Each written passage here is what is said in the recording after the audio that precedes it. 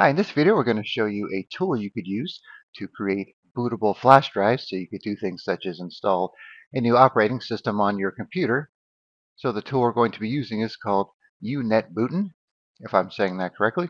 So it's a free download, uh, nothing to install, and it's available for Windows, Linux, and Mac OS. So once you download, just double click it to run it. You'll have to be an administrator to do so. So one of the nice features of this tool is if you're going to be creating a Linux bootable flash drive, you could actually download your distribution right from it if you don't want to have to go download the ISO file first. So if you see up here we have distribution and we have all these different options here for the flavors of Linux. So let's say we wanted Linux Mint and then you could pick your version here and then you could pick your destination here so USB drive or local disk, drive letter if you have more than one, and then click on OK.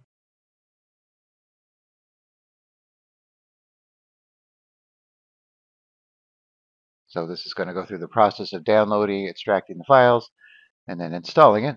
All right, so I'm going to cancel this, and then we're going to try it out with a Windows ISO file that we already have downloaded.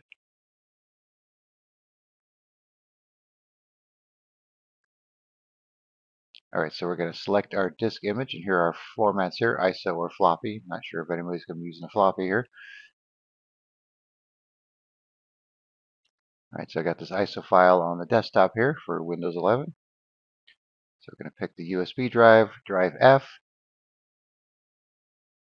which is this guy here, the SanDisk. Just click on OK. That's going to go through the process. So we'll pause the video and let this run and then be back when it's finished.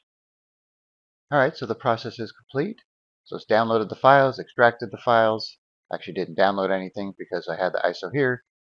Created a bootloader and now the installation is complete. I'd say it took maybe 20 minutes, so kind of long, but you know, other tools like Rufus take a little bit of time too. So by the way, there are other options, like I mentioned, Rufus and Ventoy, and then for Windows, you could even use the uh, Windows Media Creator tool as well. But this is just another option. But if you are trying to make a Linux bootable flash drive, it's definitely a good choice since it has all the options there, and you can just download whichever ones you like. Alright, so once you have your flash drive ready, all you need to do is stick it in your computer, uh, change the boot order, and then boot to it and install your operating system.